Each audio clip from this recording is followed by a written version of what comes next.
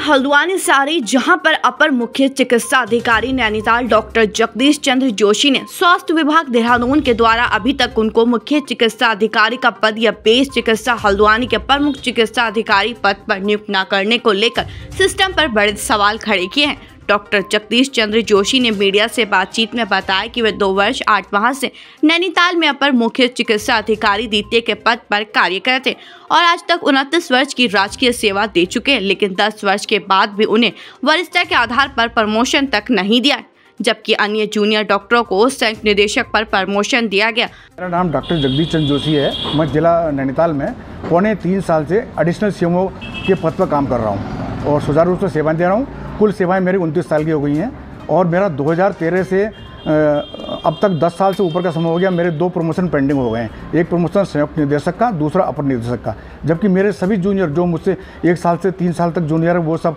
मतलब अपर निदेशक स्तर का प्रमोशन का लाभ पा करके जिला चिकित्सालय के पीएमएस बनने बैठे हैं या जिला के सीएमओ बना दिए गए हैं। और ये मेरा भी हक है कि मुझे भी किसी ज़िले का सीएमओ बना देना चाहिए था या किसी जिला चिकित्सालय का पीएमएस बना देना चाहिए डॉक्टर जोशी ने कहा कि 26 सितंबर 2012 को वर्ष चिकित्सक अधिकारी पद पर प्रमोशन दिया गया। उसके उपरांत मई 2013 में अन्य जूनियर डॉक्टरों को संयुक्त निदेशक के पद पर प्रमोशन दिया गया। लेकिन वरिष्ठता और योग्यता होने पर भी उन्हें प्रमोशन से वंचित रखा गया। पूछने पर कई वर्षों से एसीआर खराब होने का हवाला दिया गया, जबकि उनके एसीआर में कोई कमी नहीं है।